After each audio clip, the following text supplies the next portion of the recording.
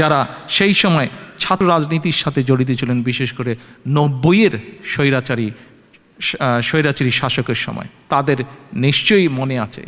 দেশনেত্রী সেই সময়েও বলেছিলেন, পরবর্তীতে আবার যখন আজকের নিশিরাতের এই সরকার আসলো, নিশিরাতের এই সরকার যখন ক্ষমতা দখল করল, তখনও দেশনেত্রী একটি কথা বলেছিলেন।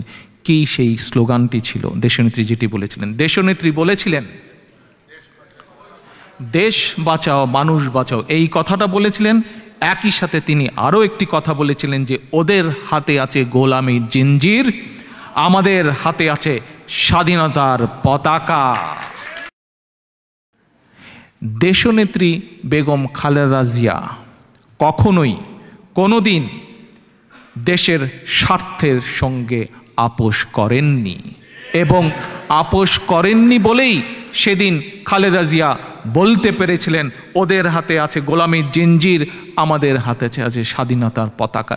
এই কথাটা দেশনেত্রী খালেদা জিয়া কয়েক বছর আগে বলেছিলেন, কিন্তু এই কথাটা যে কত সত্য কত সত্য এবং কত সত্য, মাত্র কয়দিন আগে নিশিরাতের সরকারের মন্ত্রীরা সেটি প্রকাশ্যে বলে ফেলেছে জনগণের সামনে।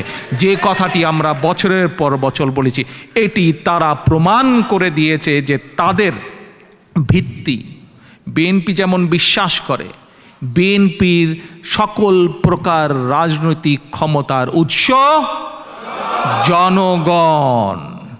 আজ ঠিক একইভাবে দিনের আলোর মতন সত্য যে এই যে আজ নিশিরাতের যেই সরকার, তাদের যে দল, তাদের সকল রাজনৈতিক ক্ষমতার উৎস